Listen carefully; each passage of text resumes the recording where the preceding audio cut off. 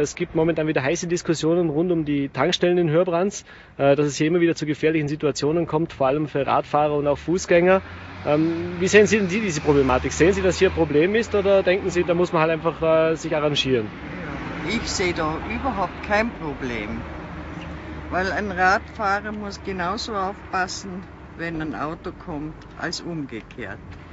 Wenn ich der Schwächere bin mit dem Rad oder Fußgänger, dann warte ich lieber, wenn Zähne vorbeifahren, fahren halt Zähne vorbei und dann kann ich drüber. Und dann ist das überhaupt kein Problem. Also für mich nicht. Wenn ich da rausfahre, der ich so so machen. Also ist es eigentlich nicht so, obwohl jetzt eigentlich fast jeden Tag oder sagen wir zweimal in der Woche oder so der Tankergang und jeden Tag vorbeifahre.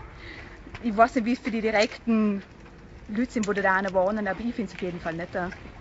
Weil das im Prinzip der Tanktourismus, die fahren wirklich von der Autobahn auf, gehen tanken und fahren nachher gleich wieder runter. Das ist schon ein Problem, ja. Immer kann man nicht weiterfahren, muss man stehen bleiben und warten, bis der LKW der Tankstelle weggefahren ist. Oder? Und dann ein großer Kreisverkehr, mir so groß nicht gewesen. Und nachher wäre es wieder ein bisschen entschärft, die Situation. Ja, das stimmt also schon. Äh, es ist mir selber schon passiert. Erstens ist ein Verkehrsstau, dass du nicht einmal die LKWs passieren kannst. Oder? Und äh, es kommt wirklich zu gefährlichen Situationen, gerade wenn Gegenverkehr ist, oder?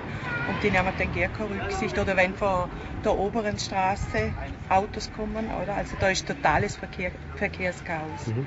Glauben Sie, dass die Gemeinde hier mehr tun müsste? Das heißt, also es gab auch teilweise Beschwerden darüber. Die Gemeinde sagt wiederum, es, es sind Pläne da.